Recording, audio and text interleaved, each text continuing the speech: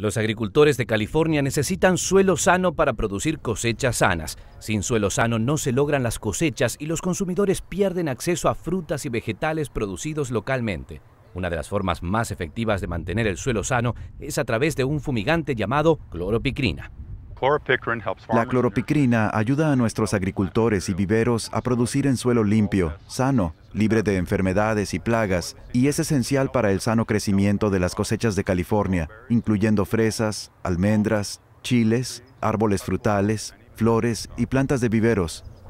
Con la mayoría de las rigurosas restricciones de fumigación en el país, California requiere una preparación igualmente rigurosa para el proceso de aplicación. El proceso de aplicar cloropiquina en el campo se empieza meses antes de cultivar. En medida para preparar para la fumigación, el sitio específico se revisa individualmente para determinar las necesidades de cada cultivador.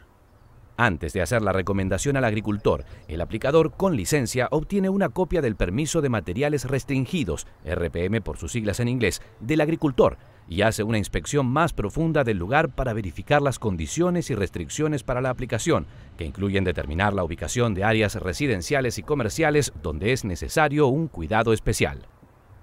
Luego de que se le ha presentado una recomendación al cultivador, le presentamos un aviso antes de aplicar el fumigante. El plan de mantenimiento de la fumigación está disponible en el sitio específico, con las distancias de las zonas de protección. Inmediatamente antes de la aplicación, el aplicador con licencia se asegura de que en el sitio existe una copia completa de Fumigation Management Plan aprobado, recomendación, aviso de intención, etiqueta del pesticida y plan de respuesta de emergencia. Él o ella confirma qué carteles están colocados alrededor de las zonas de contención y que todos los participantes en la aplicación han recibido el entrenamiento de manejo requerido. El aplicador también determina que se cumplen las condiciones de aplicación como el viento, el clima y otras.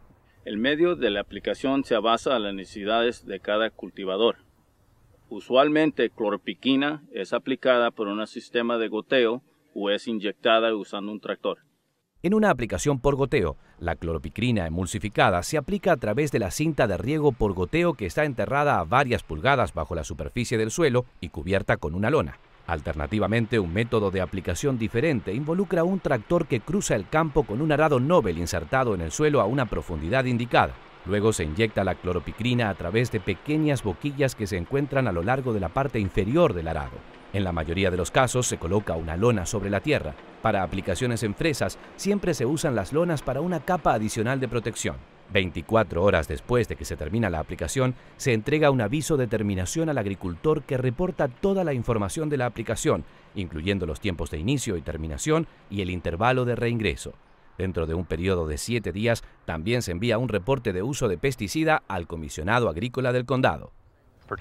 La protección de la salud del trabajador y del público es primordial para nosotros. Trabajamos en estos campos, vivimos en estas comunidades y alimentamos a nuestras familias con productos de ranchos locales. Es por estas razones que los agricultores y los viveros de California tenemos una buena trayectoria con cloropicrina y la hemos usado de forma segura por más de 50 años. Para más información, por favor visite www.cloropicrinfacts.org.